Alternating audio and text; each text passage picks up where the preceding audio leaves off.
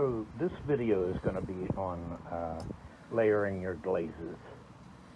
All right, the first thing you want to do is you want to have a, a neutral glaze, uh, preferably with some kind of texture or speckles or something, uh, to unify uh, everything.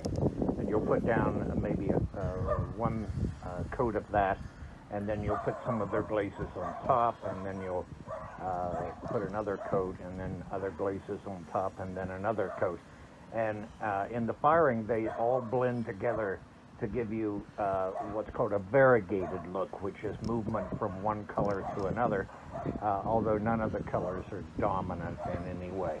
It'll go from a little bit of a pink to a little bit of a green to a little bit of a, uh, a gold or yellow or uh, blue or something like that, okay?